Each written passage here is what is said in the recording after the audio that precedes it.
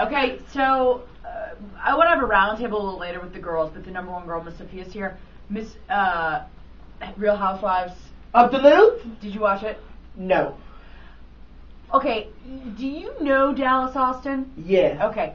The best part of the show last night was when Dallas Austin basically says to Kim, he's like, listen, if you want to sing, you got to quit smoking, you got to r- run through Meisel Day, you Oh. gotta, um, you gotta quit drinking. Well, hold on. Is are we talking about the same Dallas Austin? Are you talking about Dallas from Austin, or are you talking about the Dallas that was all in all of this trouble from smoking and the drugs in Dubai? Is that the same Dallas Austin? well, I thought it was something else in Dubai.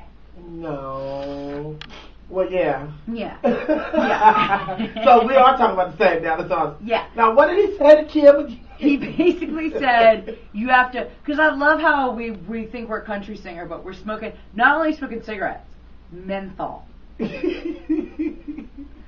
told her she can't sing. She can stop smoking. basically. And and Nene, if you're watching this, okay, I want to tell you that I have fallen in love with you, and I know you made me nervous when you came in here, and I got a little scared because you confronted me about asking you a question, and it made me nervous. But now I, I officially, I really love her, Sophia. She's your new BFF. You're gonna have to help me because she like died when she met you, and you're my only way to get back to her. I'll see what I could do. But you know, Nene, they did a survey in AJC, Uh-huh. and they asked of all of the housewives of Duluth, they said who should get their own show, and Nene won by overwhelming majority.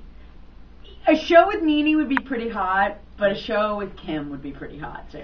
Oh, a show with Kim. Yeah. I I could see Kim with her own show. That's who I voted for. I thought it should be Kim. It should be Kim, She brings the drama. and then the sequel will be just Kim's wig. That'll be the whole show, right?